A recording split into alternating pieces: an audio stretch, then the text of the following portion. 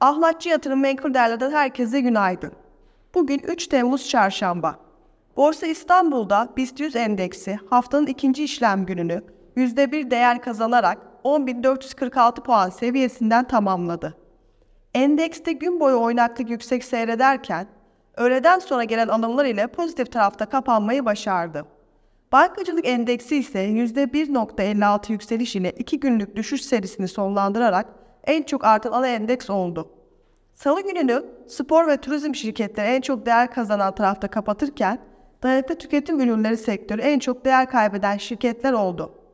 Haftanın 3. işlem gününde yatay bir açılış bekliyoruz.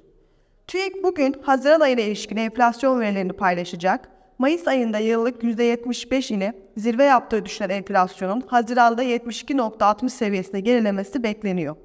Ahlatçı yatırım olarak Haziran ayında enflasyonun aylık %2.3 seviyesine gerilemesini beklerken yıllıkta ise %72.71 seviyesine geri çekilme bekliyoruz.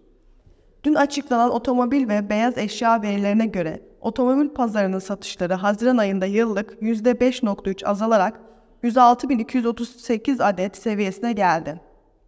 Türk Beyaz Eşya Sanayicileri Derneği'nin verilerine göre ise beyaz eşya ihracatı Mayıs ayında %22 daralırken iç satışlar %4 arttı.